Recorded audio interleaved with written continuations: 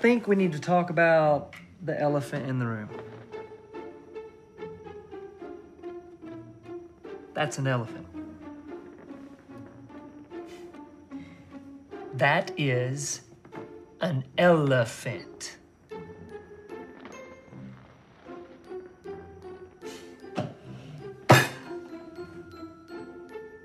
This, this is a table. That, that is a lamp. And this, this is an elephant. We, we have ghost. There's ghost here. We we found out about that from the last owner of the home. Ah, it's just the craziest thing. They just sometimes show up. Today we start our new series called Elephant in the Room. Uh, the new series is going to talk about different topics that the church don't like to talk about.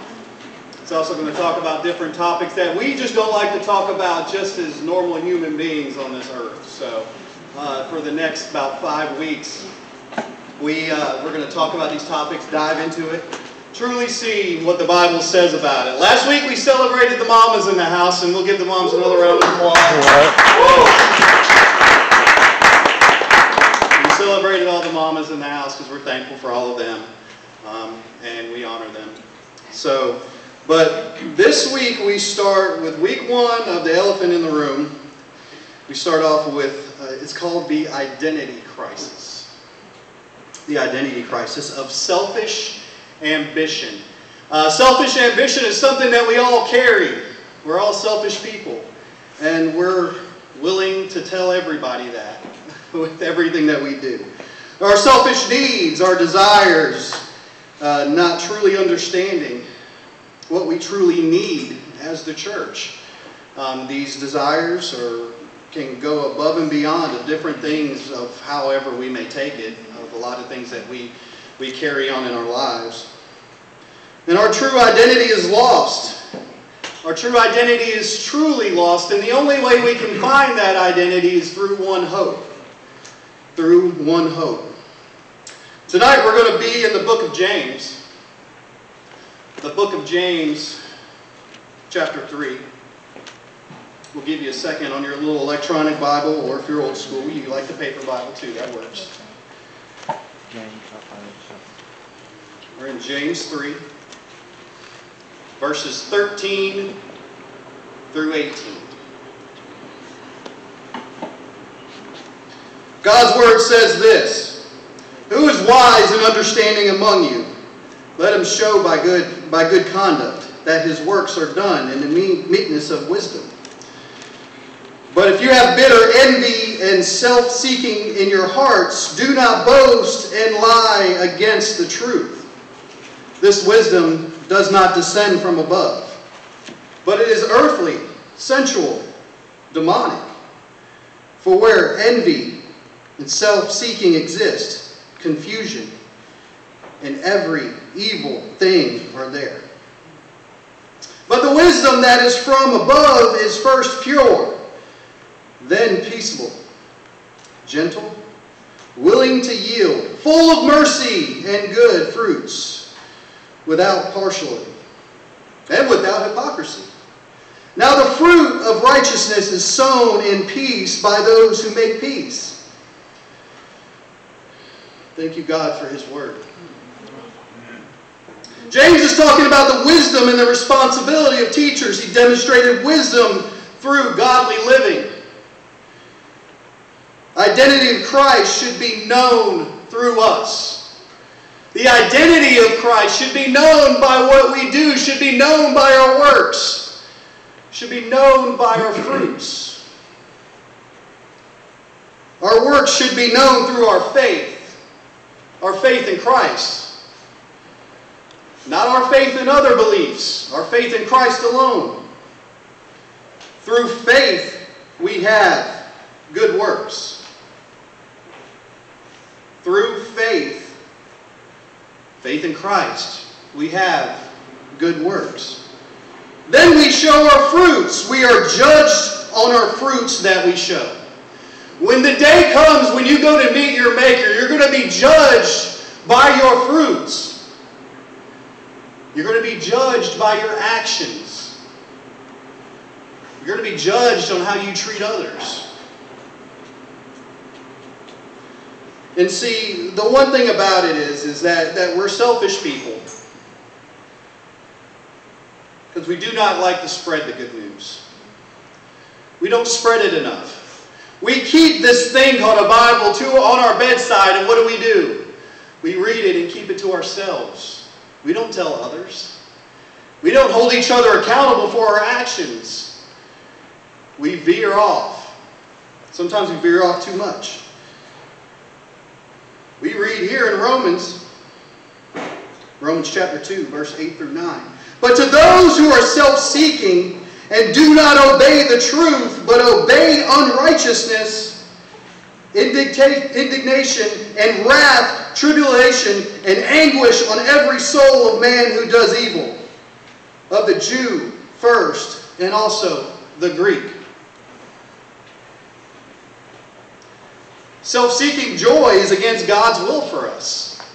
Our self seeking joy of what we may think is joy, God will use that against us. And it's against God's will. It's against God's will. Our wisdom will always fall short of the wisdom of God. It's true. Our wisdom, there's no way you can measure our wisdom to the wisdom of God. His wisdom is a lot more smarter than you. I guarantee you that. A lot more smarter than all of us. His wisdom is an abundance more than what we could ever measure.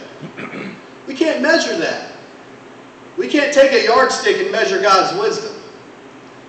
We can't take an IQ test and do it against God's because I guarantee He's going to ace it every time. His wisdom is a lot more than ours. See, in James we read on the destructive of the tongue and how it can be, how envy and selfish ambition can be a disaster. James speaks clearly in verse 14. James states bitter jealousy and selfish ambition in verse 14. And those are characteristics that we all carry. We carry jealousy, we carry selfish ambition. We care about ourselves. We're jealous of others. We're jealous of family. We're jealous of other, of other things that other people may achieve. Well, I hate to tell you that. It don't matter what anybody achieves on this world. All that matters is that we glorify God in everything that we do. Amen. In the end, you will be judged by your actions here on earth. He's going to notice selfish ambition. He's going to say, You were selfish. You were selfish. You didn't proclaim me. Nobody knew you. I never knew you. When that happens, what, there's nothing we can say. There's nothing that we can do. That's it. It's judgment time. And we're going to be judged on these different attributes. The different vices are blind us from true understanding. The world likes to blind us, don't they?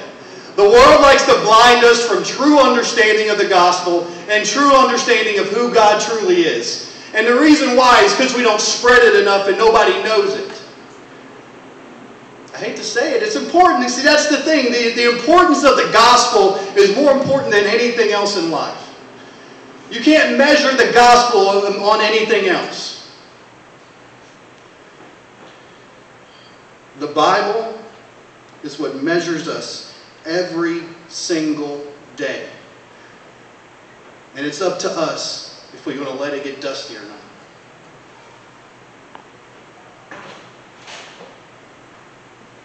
The world blinds us from true understanding. And you know what it does? It does the opposite of the gospel. The world will do the opposite of the gospel.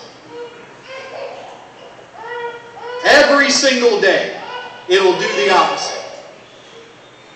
The complete opposite.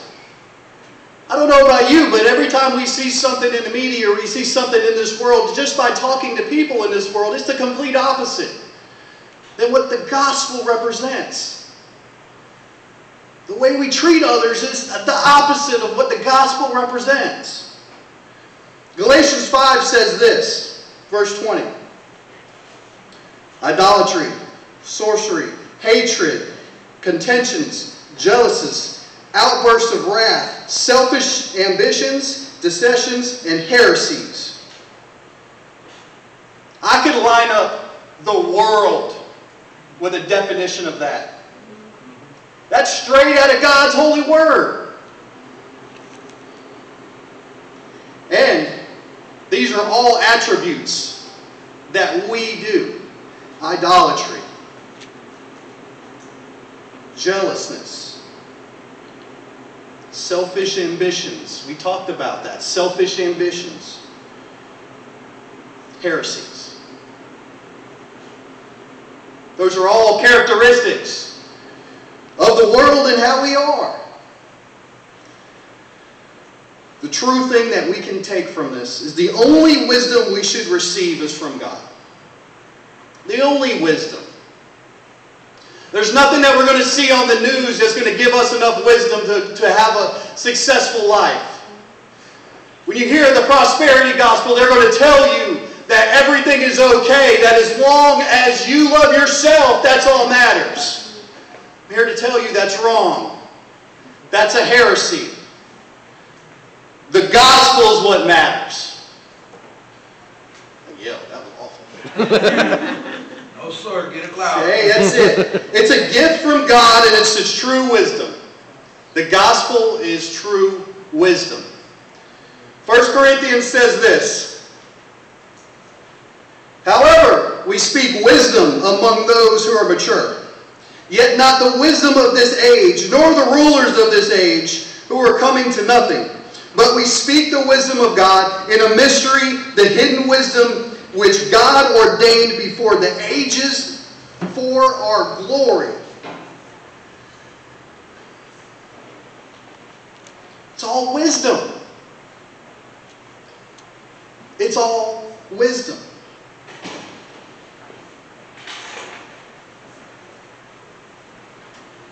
And he spoke this, Paul spoke this to the church, to the church of Corinth.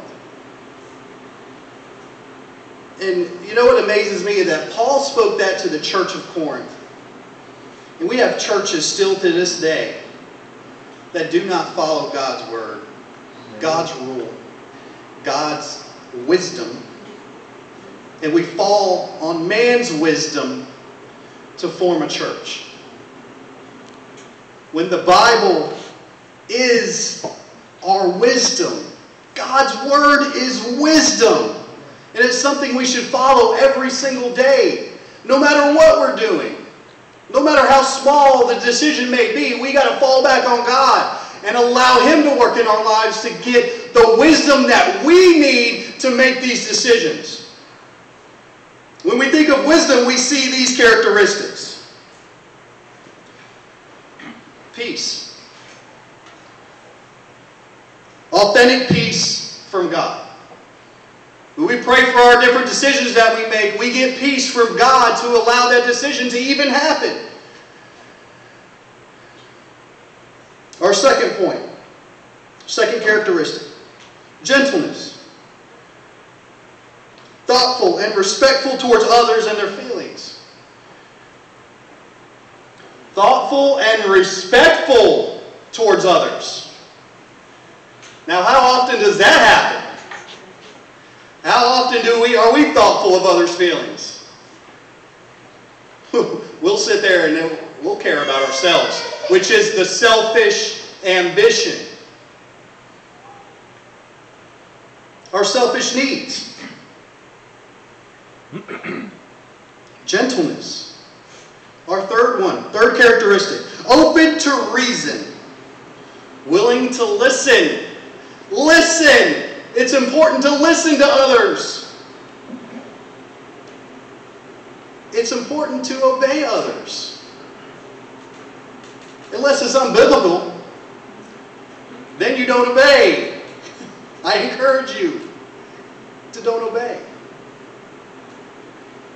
But we must listen to others.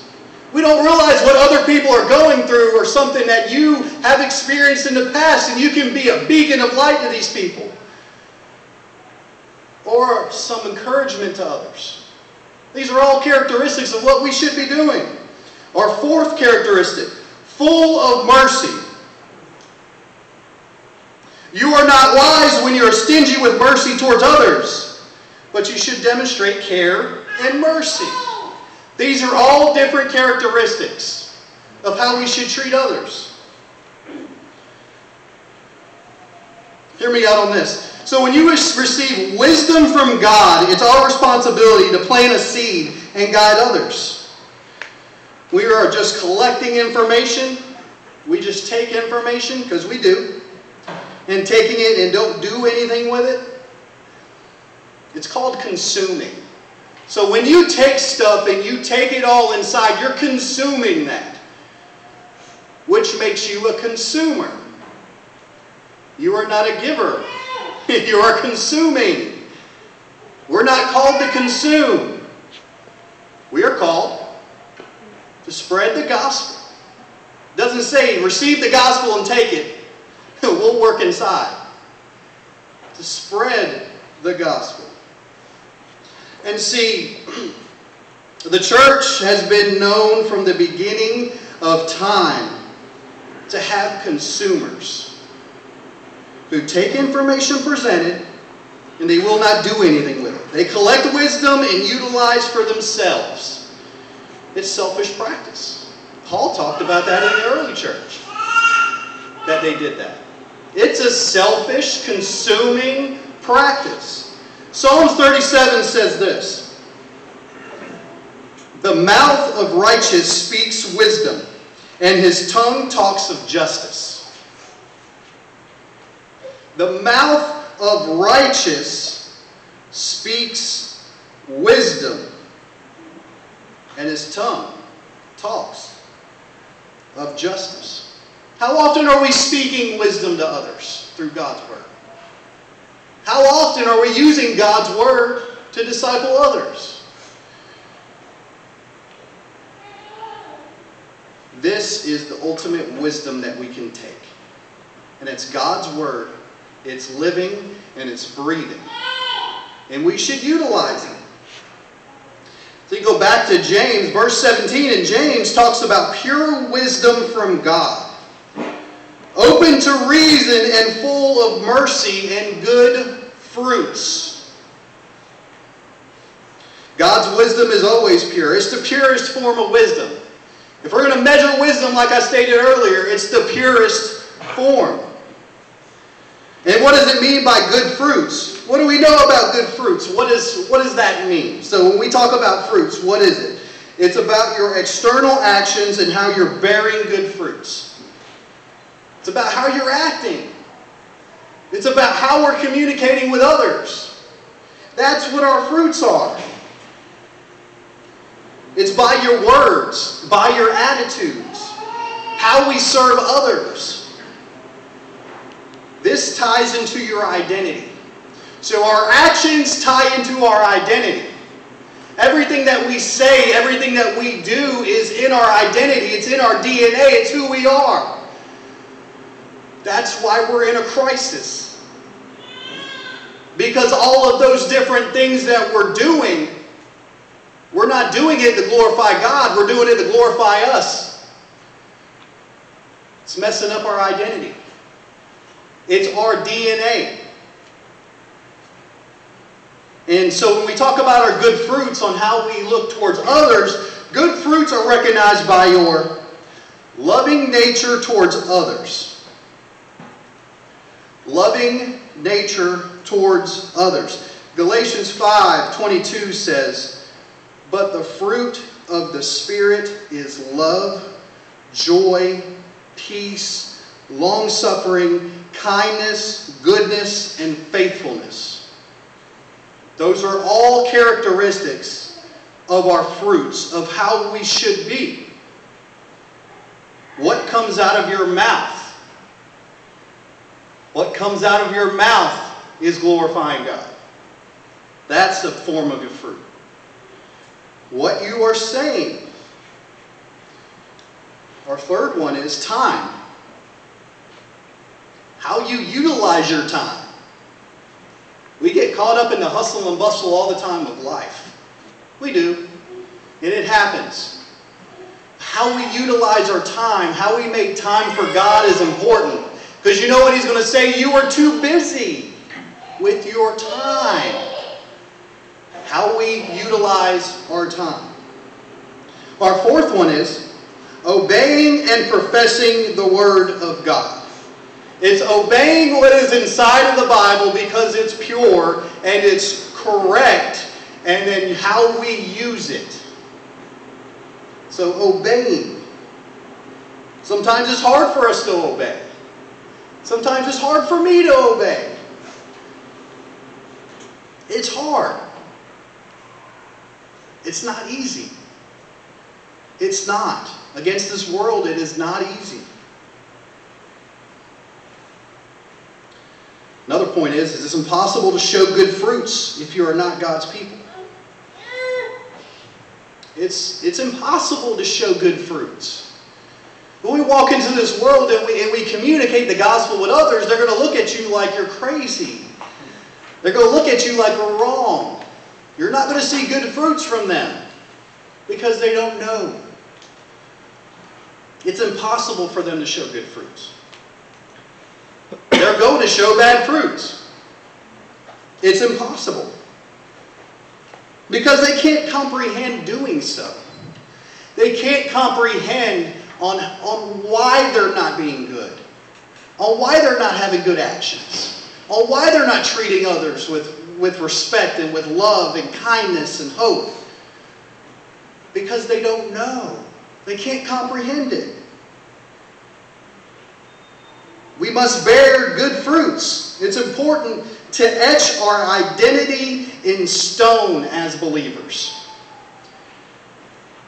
It's important to take our identity and etch it in stone.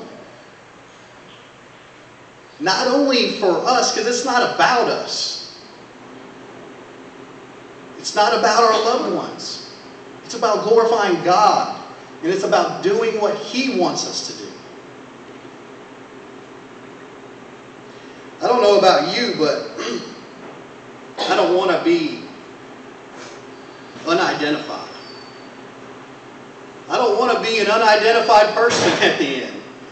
I want to be able to go to God and He's going to be like, I knew you. I knew you. I don't want to be un unidentified. It's important for us to, to be identified, to be etched in stone. Russell, can I get you to come up for me?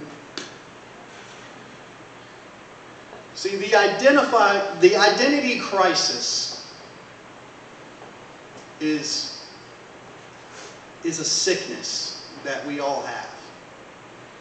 It's a sickness of being unidentified to God for our actions. Because we don't show the characteristics that we should show. The scariest thing is when the day comes and we don't have an identity. It's scary. Because we shape shifted into this world. We let the world consume us, take us. Anything that we ever had worthy inside of us, and consumed it into the world. Your thoughts, your heart, your characteristics. I don't know about you, but it would really hurt for God to say He never knew me because my identity was wrong. That's probably one of the scariest things to even think about is an identity crisis.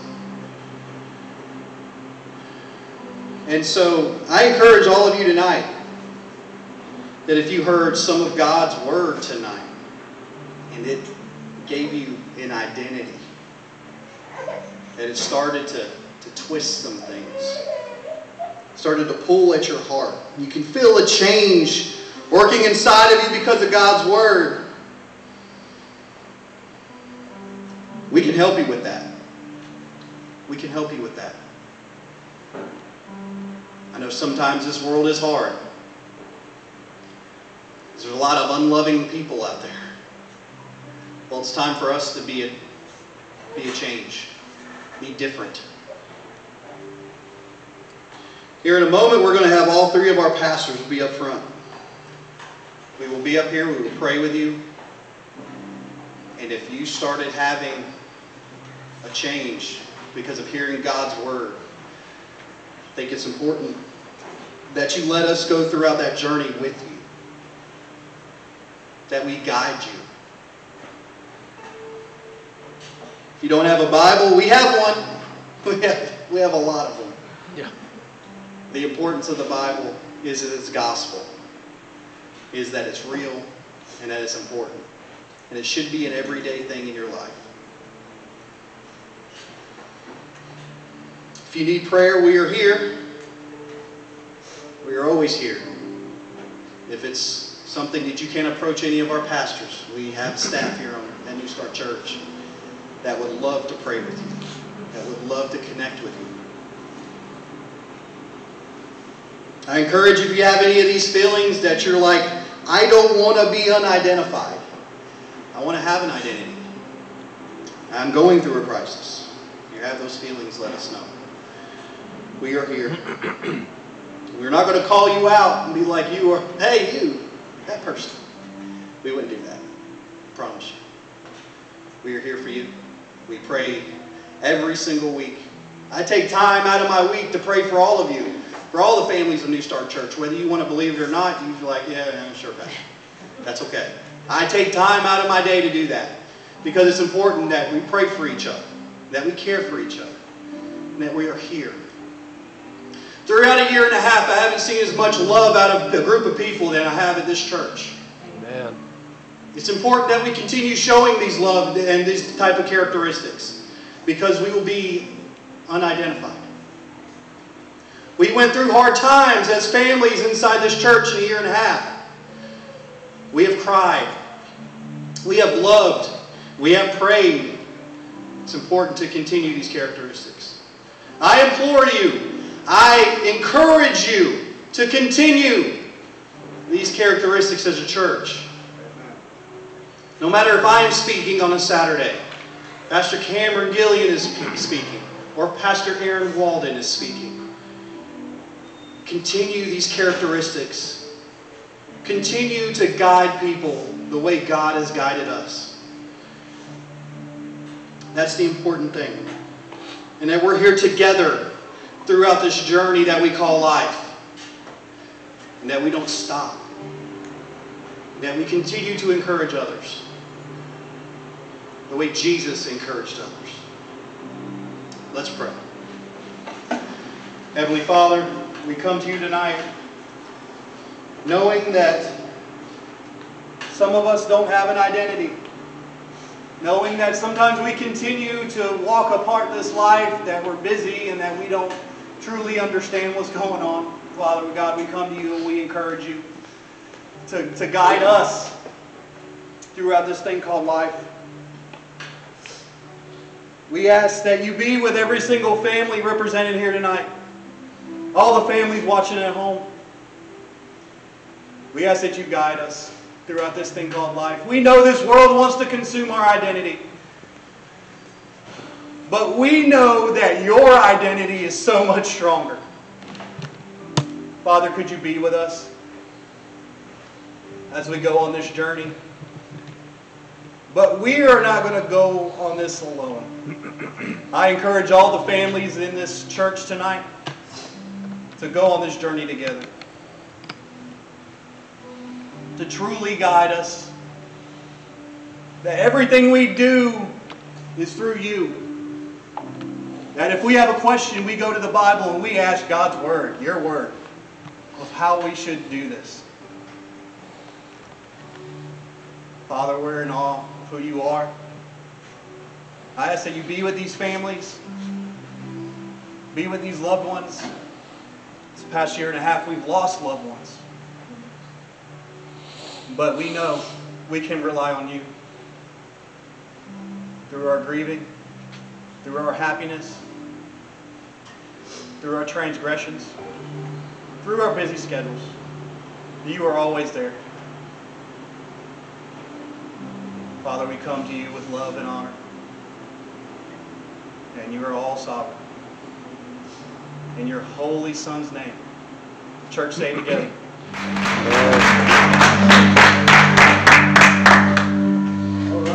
All right, I don't know why y'all stopped. Let's keep it going for God. Isn't he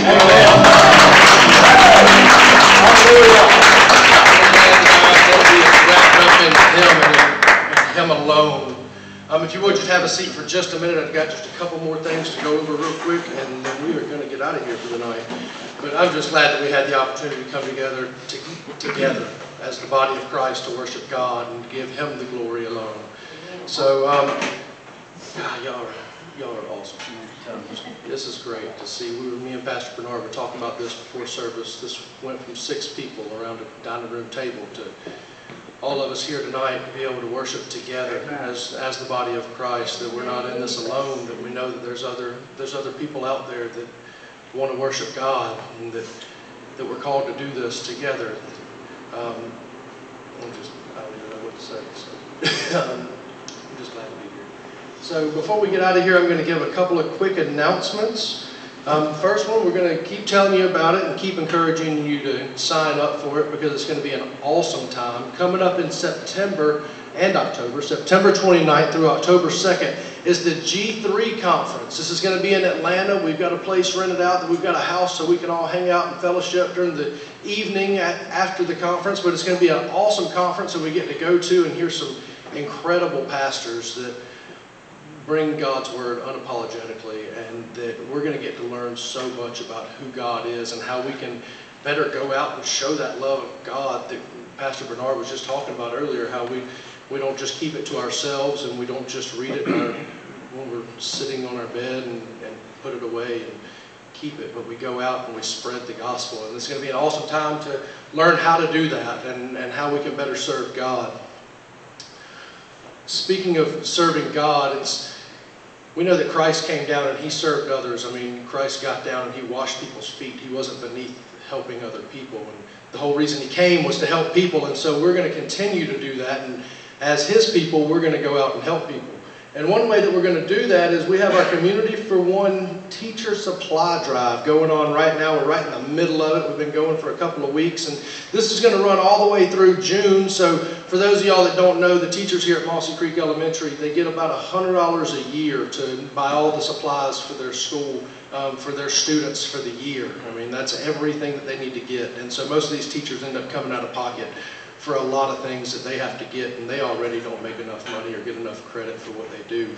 So we here at New Start are going to help supply these teachers with the things that they need. I'm not asking for your money, but what we want to do is go out and buy the supplies. If you go to the website at newstartna.org, there's a list on there you can find.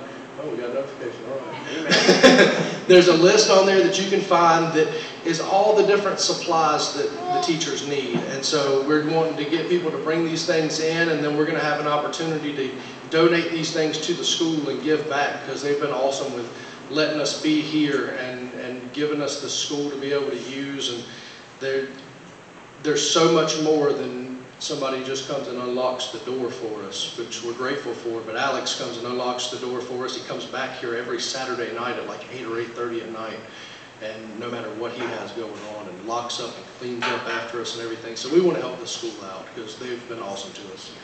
So our next way that we're going to continue to serve God through serving others is tomorrow. We're going to have our first serve day. It's going to be awesome. We're going to go out. We've got somebody in the community that we're going to go out and help, but we're all going to meet up at my house. What does this say? 8:30? Yeah. Oh, that's early. I'm telling you. I know we, we have do, to. We do evening church for a reason, yes. y'all. This is really early, but we're gonna get out and we're gonna go praise God and serve God and through serving others. And uh, so come prepared to to help serve. We're gonna go do some hard work tomorrow, but it's gonna be awesome because the person we're going to help tomorrow really deserves it. And I'm glad that we're getting in to help the person that we're getting to help. Amen. I've watched this person pour out the love of God to, to people when they don't necessarily even deserve it.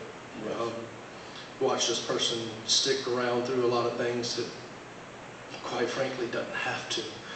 And so I'm grateful for myself to be able to give back to this person and, and just go show them that we care and we love, we love them. So we're going to do that tomorrow morning at my house, 8.30. If you need directions, you need the address, get with me. I'll get it to you, no problem whatsoever. Um, 8.30, the lunch will be provided. We'll have Gatorades, water, all that good stuff out there. So nobody's going to get dehydrated and fall out. I hope not. Um, and there's food, guys. I don't know if y'all heard that. We're New Start. There's food. Y'all show up. 8:30, 8:30. I don't think we're eating at 8:30, but there will be food. I'll go. Food. Once again, food. Um, Speaking of serving, we're going to continue to do this next Saturday as well. Um, We will meet up at my house once again next Saturday, and we're going to go out, and we have somebody else in the community that we're going to go help, and we're excited to be able to reach out and help this person. This person has had some medical issues going on and just really needs some help. Um, there's just things that they can't physically do, and so we want to show up and show them that we, we love them, that we're here for them, and we're here to serve. And we're going to continue our week of serving. By this Thursday, we're going to have our first outdoor prayer night. And we're going to go out. This is, I don't know if y'all know, but in North Augusta, they do what's called Third Thursday. So all the businesses downtown North Augusta stay open later. People get out, go shopping, all this stuff. And so we're going to be set up right in front of Carpenter's Auto. I don't know if you know where that's at. It's right across the street from Your Pie or Gary's Hamburger on Georgia Avenue. We're going to have a tent set up there so that we can just reach out to the community. We can share the gospel with them. We can hand out Bibles. We can pray for people and just really get connected. And we can get out of these four walls and go spread the message. And we know in Matthew 28, verse, starting in verse 16, Christ gives us what we call the Great Commission to go to the ends of the earth to spread this gospel that it's and to make disciples and to teaching them to obey all that Christ has commanded us that it's it's not just a check mark that we get like some preachers will tell you and I'm not ashamed to say it that there's there's fruits that we bear and those fruits will testify to who Christ is and that He's working in our lives. And so we're called to obey Christ's commands to go out and serve and love other people and spread this gospel. So that's what we're going to do, and I'm super excited about it. Speaking of getting connected, if this is your first time here, I'd love to, to hear from you, to know that you are here tonight. We have some connect cards. Am I right about that, Pastor? There's connect cards Yeah, back there's there. All right, cool. Yeah, there's some connect cards back there. I gotta ask. there's some connect cards back there on the tithing table. If you fill one of those out, put it in the tithing box right there so we can get it. Also, you can go on newstartna.org and fill out that connect card. Um, that's not just if you're this is your first time. If you want to get plugged in, if you want to start serving somewhere in, in this ministry, um, we'd love to have you help serve because this is awesome to see how many people have reached out and are serving in this church and people that a lot of times don't get credit for what they do. I mean, from passing out coffee and, and pamphlets, brochures, notes to taking pictures and putting them on Facebook, and that's a full-time job, which you do very, very well. Um, I mean, there's all kinds of people. This whole group up here, let's give them a round of I'm grateful to have this, to have this group. I mean, we went from a month ago to using this projection screen that honestly needed a lot of WD-40 and a lot of noise. to, to having this full group up here and another notification, all right. And hopefully to watch it grow. And I'm sorry, but I forgot your name already, but I'm going to call you out again. Jacob, Jacob, all right. I'll, I'll remember it. Bible, Jacob, I got you. Jacob, I loved, all right. Um, so I'm excited to hopefully have you come on board with us and play guitar for us and all that. We're excited to see God grow this ministry. Um, but while you're on the website, let's continue to worship and serve God and give Him back what is already His because, because it's His anyway. And it's been awesome to see how you guys have supported this ministry because honestly, we couldn't do this without you. Um, there's no way possible that we could, we would be right here today if it weren't for you guys loving God and giving God what is already God. So if you'd like to continue to support this ministry, you can do that one of three ways. You can go online and you can go to newstartna.org and you can give there. You click on the little tab and get, click the giving tab, or you can download the Tithely app and you can set up uh, a one-time payment or a recurring payment right there on Tithely, or you can, as Pastor Aaron says, the old-fashioned way. You can put it in an envelope right back there and put your name on it and all uh, we'll get that put in for you. We're just grateful to, to have you guys helping us with this ministry. And speaking of praying for people, like we were talking about, we're going to go out and have this prayer night and, and be praying for the community. You can also put your prayer request in on newstartna.org, and we'd love to pray with you that way. I know I told some of you before that we have a group chat, and it, that's one other thing. Let, let me stop real quick because I got ahead of myself. On the um, on the Connect cards, not only do we have Connect cards, but a lot of us are in a Facebook group chat that is one of the most unique things I've seen the church do and has been awesome. Because this is, for those of y'all that aren't on this group chat, this is the time that we just get together throughout the week constantly. And sometimes it's just people being funny and silly and and having a good time being brothers and sisters in Christ. And sometimes it's people that have serious needs that come together for prayer. And to watch this community of believers come together for each other and love each other and that has been awesome. So if you'd like to be a part of that and get connected and get added into that group chat, we'd love to have you and, and get you plugged in with that.